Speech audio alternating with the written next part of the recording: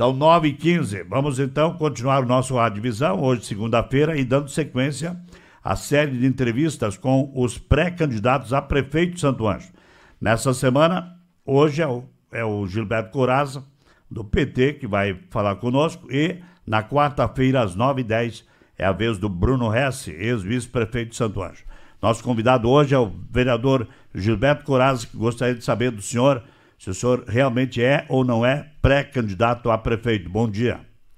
Bom dia, Luiz Roque, bom dia a todos os ouvintes da Santo Ângelo eh, e também da região missioneira. Eh, lhe cumprimento aqui por essa iniciativa de repercutir aqui, a, a enfim, já um debate que, um período já de pré-campanha, na verdade, que é campanha. Claro. Então tem que observar as regras da pré-campanha.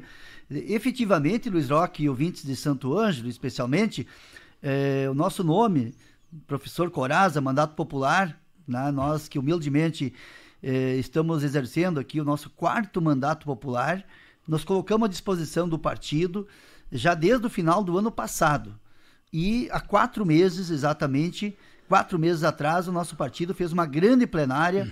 diretório municipal ampliado, e homologou por consenso, por unanimidade, eh, o nosso nome como pré-candidato a prefeito do PT de Santo Ângelo. Então, de fato, é, possivelmente seja do conjunto dos partidos o primeiro que definiu já formalmente, obviamente nas suas instâncias, como o diretório municipal, o nosso nome como pré-candidato a prefeito de Santo Ângelo. E nós estamos desde esse momento, então, tomando medidas, é, nos mobilizando, é, nos preparando e passamos uma vida toda, você sabe perfeitamente, Luiz Eu, eu, gostaria exatamente que o senhor, o senhor se auto-apresentasse. Uh, eu não sou de Santo Anjo, eu sei que o senhor também não é de Santo Anjo, mas é uma cidade acolhedora. Gilberto Coraza uh, nasceu aonde, veio da onde? Eh, eu sei que o senhor, todo mundo sabe que o senhor é professor, mas fala um pouco sobre sua, o seu currículo para depois a gente poder entrar. Perfeito. É, eu, eu, de fato, vim residir em Santo Ângelo em 1984 na época na condição de estudante de teologia, seminarista. Então chegamos no mesmo ano. Perfeito. É, naquele período, então, era um ano muito marcante na história do país. Caminhávamos para o fim da ditadura militar, aí, lamentável, triste, mais de 20, 21 anos de ditadura militar no Brasil, e era o ano das diretas já, 84. E na condição de seminarista, estudante de teologia, juntamente com um quarteto que formamos aqui, com professor Adelino Jacó Seibit, que atua hoje como professor em Santo Anjo, João Tarcísio Schneider, o professor Elton Bax e o professor Lívio Oswaldo Arenhart, que se somou a nós aí é, a partir de 85. É, nós fizemos nosso trabalho de inserção aqui nas comunidades, dos bairros, das periferias de Santo Ângelo, e logo nós seguimos aqui, todos nós, nos, é, pela preparação acadêmica, formação acadêmica nossa, filosofia, todo mundo tem o curso de filosofia, alguns, inclusive, é, como é o caso do professor Lívio. Bom, mas deixa, deixa, é, deixa eles para lá. Perfeito. Eu então, eu fiz, então eu fiz o meu curso de filosofia, me formei em licenciatura plena de filosofia é, em 86, ainda pela Unijuí, que acabei concluindo o meu curso. Ah. Em 84 iniciei teologia, 85, e depois é, eu passei a exercer funções aqui, é, como na condição, primeiro, primeiro trabalho formal foi de assessoria, um grupo de assessoria agrária aqui, o Sindicato de Trabalhadores Rurais da região das Missões. É, passei então a prestar assessoria para um conjunto de sindicatos de trabalhadores rurais. E logo em seguida eu acabei, em 86, iniciei a minha, minha caminhada de professor. Certo. Dei Continua aula, até hoje. Continua até hoje nativa. Dei aula na Unijuí, na época Fidene, depois em 87 é, trabalhei na, na Fundames, antiga Fundames, uhum. até 89. 89, formalmente por concurso, entrei no Estado. E continuo ainda nativa no Estado, aqui junto ao Instituto Estadual de Educação Dom Felipe Pipe.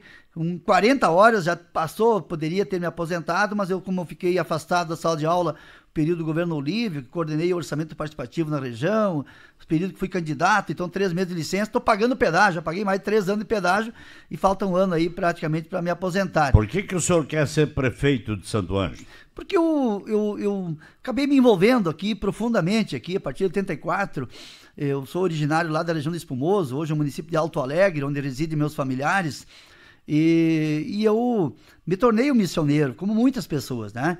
é, estou profundamente marcado, sensibilizado aqui pela experiência histórica aqui que aconteceu no período pré-missioneiro, no período missioneiro, e, e eu sigo é, é, fazendo a minha, a minha é, opção, envolvimento na dimensão político-partidária foi uma consequência do meu trabalho de pastorais sociais, de, de sindicalista ligado ao CPERG Sindicato, é, de assessoria aos movimentos populares.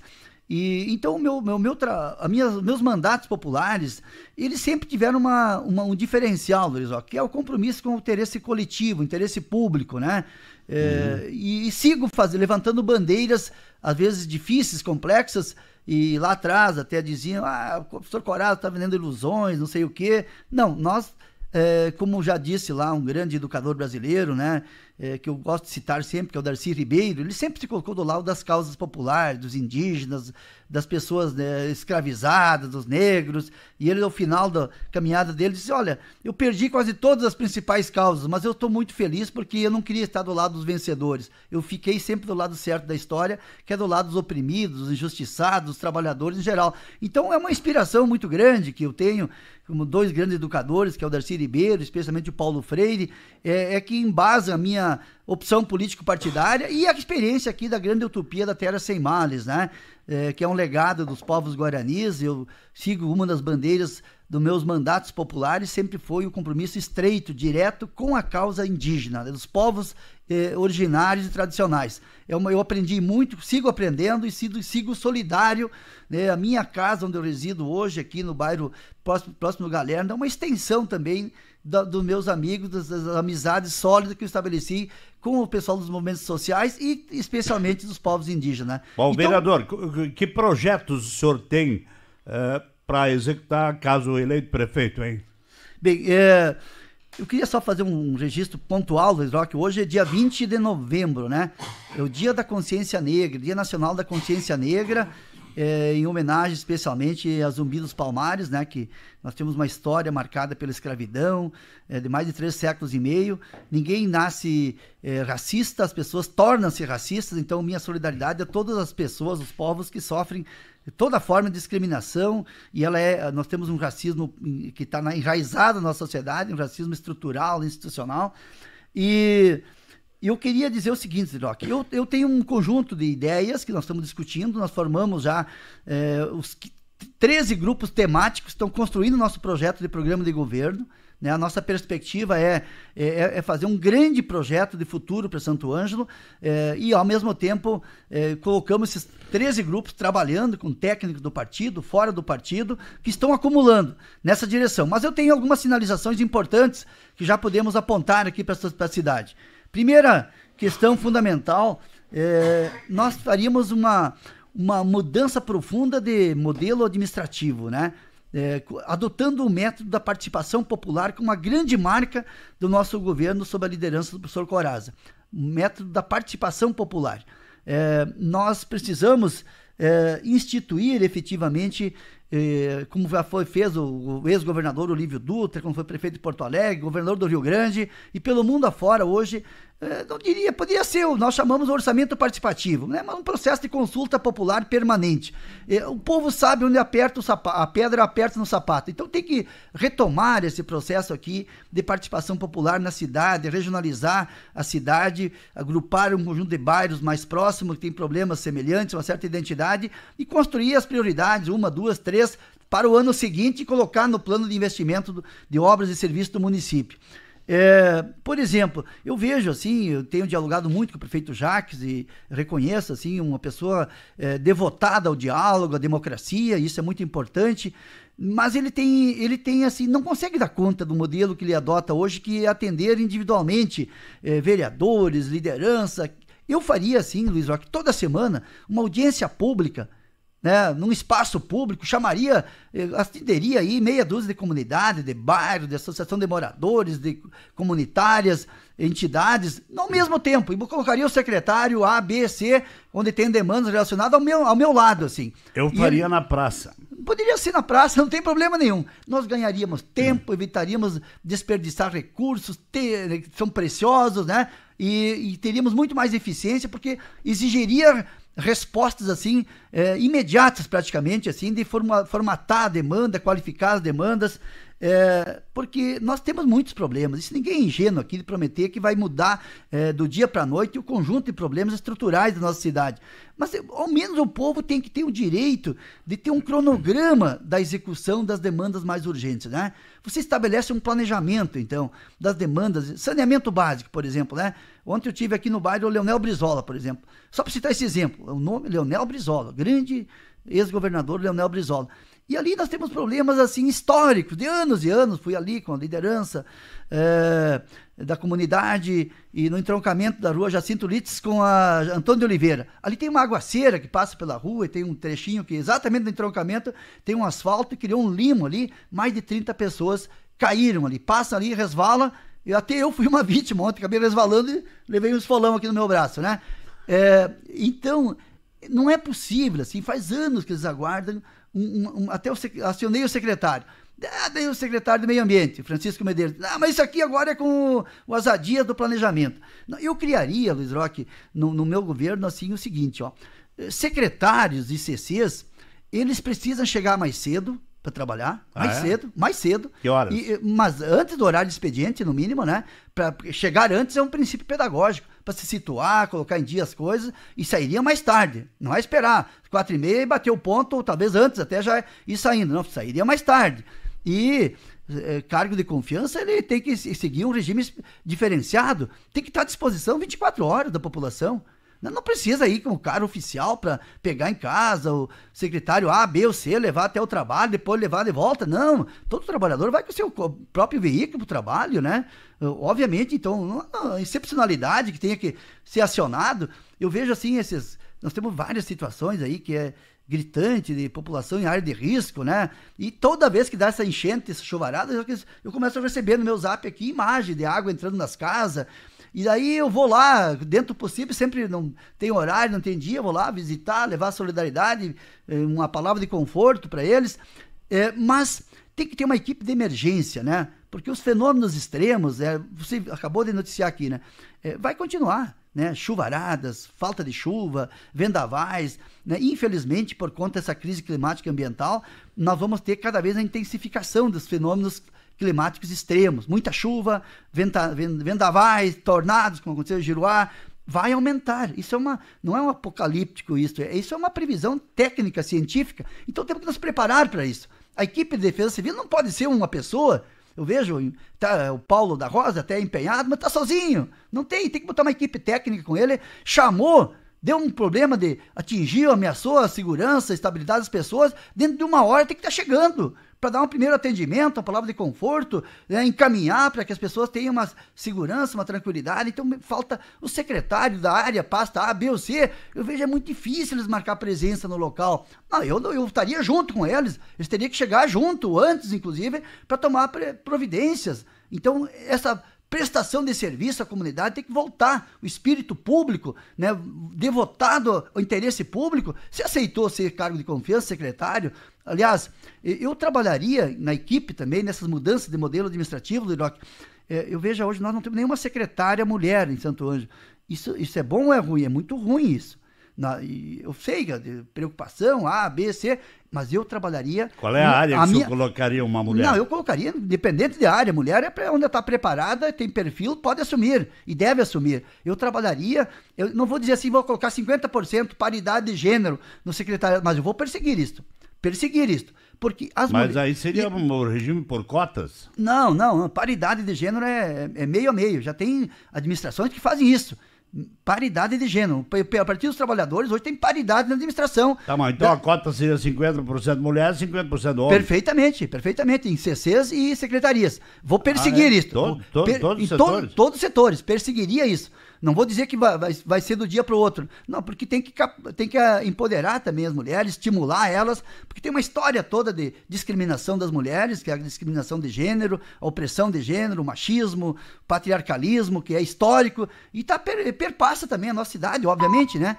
uma violência sem fim contra as mulheres. Então tem que empoderar, tem que estimular, tem que capacitar. Quem não está capacitado pode se capacitar. E isso faz a diferença. E pessoas negras, por exemplo, Uh, tem que estar, tá, tem que estar tá também fazer parte do, do, do, do, do, do staff de primeiro escalão do governo. Isso é muito importante. Pessoas com, com, com deficiência, um cadeirante, né? Olha, veja, eu vejo aqui o Diego Maciel, por exemplo, que é um, agora é um professor da URI Santo Anjo de Direito, até foi aprovado numa seleção pública. Agora, ele, ele é uma pessoa muito especial, eu dialogo com ele. Ele, ele nós está nesse grupo temático nosso, desenvolvimento social e inclusão social. O que ele fala para nós da, daquilo que ele percebe, do ponto de vista deles. Então, isso seria muito importante ter uma sensibilidade especial, apurada, essas novas sensibilidades dessas pessoas. E eu vejo essa carência, assim, no, na equipe de, de, de, gestão no primeiro, segundo escalão da nossa administração. É, com relação, é, eu, na medida, as medidas administrativas ainda, Luiz Roque, eu já falei com o professor eh, o prefeito Jaques e eu não teria nenhuma dúvida, né? Nós estamos agora com o governo Lula abriu uma, uma janela histórica de possibilidades inéditas. Eu diria assim, sobre o governo Lula e Dilma, né, que foi golpeada no seu segundo mandato, lamentavelmente, nós nunca tivemos tanto investimento, tantas obras estratégicas como, como recebeu na história de Santo Anjo. Pessoa que é honesta. Quais, por exemplo? Mas eu vou, posso citar uh, algumas das principais. Luiz Duas. Duas, três, por exemplo, das principais. É, nós conquistamos aqui para a região missioneira, por exemplo, e é, não é só para Santo Anjo, era, o foco era Santo Anjo, o campus da Universidade Federal da Fronteira Sul, que está em Cerro Largo, mas veio para a região das missões. Isso veio para ficar. Tá, mas isso fazem 8, 10 anos. Perfeitamente. Mas isso tá aí, tá aí, é para ser. Eu quero saber de agora. Deixa, deixa, deixa, vou te colocando, Luiz. Tá, no último período do governo Temer e, e, e, do governo Bolsonaro não tínhamos nada, nada. Eu vou citar do governo Lula, Dilma, Lula e Dilma. Né? Governo 1, 2 do Lula e, e o governo da Dilma. Estou citando aqui. Citei a Universidade Federal da Fronteira Sul, que está aqui, é uma realidade. Nós estamos nessa luta agora histórica do curso de medicina, com uma extensão aqui para a comunidade, para a cidade de Santo Ângelo, estamos dando passos importantes. Nós conquistamos, por exemplo, Luizoc, a UPA. A UPA foi no governo Dilma. Unidade de pronto atendimento 24 horas. Foi um programa do governo Dilma. Imagina você, Luiz Roque, e os ouvintes aqui, eh, se não tivesse a UPA nesse período da pandemia, Olha o suporte, olha o atendimento que está sendo feito, o atendimento da comunidade aqui local, inclusive da região, quando vem para cá, ela atende também muitas pessoas da região. Olha o Instituto Federal Farupilha. Tá, mas isso são, são, são, conquistas. São históricas, históricas. Eu estive lá, eu estive lá. Então eu tenho uma folha de serviço prestada à comunidade, e isso me credencia, obviamente. Eu liderei por designação, inclusive do prefeito, então prefeito eh, Eduardo Loureiro, coordenei o movimento pró-Instituto Federal Farupilha. Tá, e tá bom, eh, tá, é uma... mas eu, eu quero Veja saber a questão projetos, eu quero saber projetos do futuro. O passado perfeito. está aqui. Não, perfeito. Está, está sacramentado. Eu quero saber do futuro. Perfeito, já vou, vou listar alguns deles, vou listar em seguida. Olha, por exemplo, Luiz Roque, eh, eu estava dizendo o seguinte, ó, no projeto, na minha concepção, no meu desenho administrativo, eu falei alguns aspectos aqui do, desse modelo, é, de gestão, com participação popular, eu criaria imediatamente a secretaria, recriaria a Secretaria Municipal de Habitação. Secretaria Municipal de ah, Habitação. Sim. Não é possível. Nós estamos com ela dividida, esfacelada, em três, quatro lugares, tudo espalhado por aí. Isso é para não funcionar. Nós não estamos com. Eu entendo a preocupação do prefeito Jacques, porque criou o bônus moradia. Aprovamos na Câmara de Vereador, o bônus moradia, que é uma, uma medida emergencial para aquela situação de emergência. O pessoal está lá na área de risco, o bairro Santo Antônio. É uma novela, cinco famílias, lá no bairro Harmonia. A dona Santina, lembra de core salteado. Chove, ela me manda foto aqui, as filhas dela, da invasão da casa deles. E, e nós não conseguimos tirar do papel ainda, né? E, e, nós não conseguimos fazer andar esses projetos. Minha Casa Minha Vida retornou com muitas e muitas possibilidades. No período, então, que foi o Clédio, o secretário de Habitação, que tu lembras, é, que era pelo PT, participava do governo, nós nunca fizemos tanta moradia popular, é, realocamos toda aquela população ao longo do Riacho Itaquarixim, por exemplo, é, fizemos a última etapa lá no bairro Jardim, por exemplo, com moradias, com casas, efetivamente. Então, eu recriaria imediatamente a Secretaria Municipal de, de Habitação. Eu criaria programas, por exemplo, no nosso debate que está sendo está em construção, é, eu criaria uma. Diria assim, se não seria uma secretaria, uma coordenação de segurança pública e cidadania e direitos humanos. Uma coordenadoria ou secretaria de segurança. Você, Luiz Roque, tu é um jurista, né? Tu é advogado, mas professor Coraza, A questão da segurança pública é uma atribuição do governo federal e estadual, está na Constituição, é verdade. Exatamente. Mas o município vai lavar as mãos diante da tamanha crescente escalada de violência, de crime organizado, de facções que ficam aliciando, cooptando, especialmente a nossa juventude. Não, não pode abrir mão. Não pode. Mas eu aí estou, teria que eu, mudar a legislação. Não tem problema. Nós vamos incidir para mudar. Muitos municípios podem trabalhar de maneira complementar, porque lá na Constituição você sabe bem, nós somos uma república federativa do, do Brasil e lá tem um regime de colaboração. Então nós podemos, pelo princípio do regime de colaboração, fazer atividades complementares. Guardas municipais, por exemplo, eu estudaria, eu estudaria implementar uma guarda municipal para poder dar segurança. As pessoas estão em pânico, né? E nós temos que fazer trabalho educativo, de inteligência, complementar, um trabalho integrado com todas as polícias e a prefeitura não se omitindo, agindo proativamente. Eu criaria também, eu criaria também, Luiz Roque, uma coordenadoria, né? Ou eventualmente uma secretaria, sem aumentar CC. Não vou aumentar CC nenhum. Tá de bom tamanho que está aí. Já foi feita uma redução, fusão aqui, ali eu faria fusão, incorporação, mas sem aumentar CCs, certo? Eu criaria uma coordenadoria ou secretaria de captação de recursos eh, extraordinários. Uma coordenadoria ou secretaria de captação de recursos extraordinários em nível nacional e internacional e de projetos estratégicos. De projetos estratégicos. Nós temos que pensar o futuro de Santo Ângelo, dá para poder incrementar aqui obras de logística, de infraestrutura e de, de, de geração de trabalho e renda, especialmente. Então, isso tem que estar o foco nesse sentido, assim. De trabalhar, nós temos muitos recursos disponíveis, mas tem que ter projetos bem ade adequados, bem qualificados, para poder captar recursos, sejam eles nacionais, seja da esfera pública ou privada, e também internacionais. Porque hoje, uma administração ela não pode se, se apequenar, ficar com o foco apenas na questão municipal. Tem que ter um foco eh, mais global, mais internacional. Eu implantaria, eu implantaria aqui no município de Santo Ângelo, Rizoc, e ouvintes, o projeto é, Plante Água, Plante Água.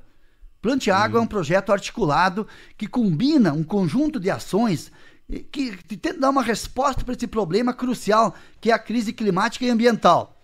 A crise climática e ambiental é uma realidade, vai crescer, vai aumentar e, e nós temos que nos preparar assim para medidas preventivas preventivas, medidas efetivas, com planos já previstos para implementar durante as, os eventos climáticos e depois pós-eventos climáticos. Então, esse plano de água tem que articular aqui, recompor todas as matas ciliares dos rios urbanos e rurais, recompor as matas ciliares, eh, recompor as reservas legais, recompor o programa, retomar um programa articulado da questão de proteção de, proteção de nascentes naturais, águas de superfície, é fundamental isso, e implementar o pagamento por serviços ambientais na agricultura familiar pagamento por serviços ambientais na agricultura familiar. E implantaria, Luiz Roque, já tem. Vereador, conclu... o tempo está estourando. Perfeito. Eu implantaria aqui, e foi aprovado agora na Câmara de Vereadores, eu trabalhei no grupo temático lá, junto ao Programa Municipal de Agricultura Urbana. Programa Municipal de Agricultura Urbana. Isto muda a cidade. Todas essas pessoas que recebem é, benefícios do Bolsa Família, que é muito importante, e outros benefícios sociais, porque eu estudarei também implantar o Programa Municipal de Renda Mínima Cidadã. Programa Municipal de Renda Mínima Cidadã. E tem recursos nacionais e internacionais para isso. Para todo mundo ter uma renda mínima. Eu, eu, eu, implantarei o Programa Municipal de Agricultura Urbana, que é hortas, hortas domésticas e pomares domésticos, hortas escolares e hortas comunitárias. Isto muda a vida das pessoas, Doriloc. As pessoas têm que. A pedagogia das plantas, a gente chama isso, né? As pessoas têm que transformar o seu espaço onde mora, mesmo que não tenha nem meio metro quadrado recolhe vasilhame, coloca terra fértil tá e planta certo. lá verduras, eh, ervas e plantas medicinais e assim por diante. Vereador, muito obrigado. Eu, não parece, mas o tempo já passou e inclusive excedeu um pouco. Eu tinha, tinha uma, uma entrevista com o deputado Jefferson Fernandes também. Certo. Muito obrigado pela sua participação aqui e toca em frente. Um abraço, Luiz Roque. Nós vamos trabalhar muito fortemente.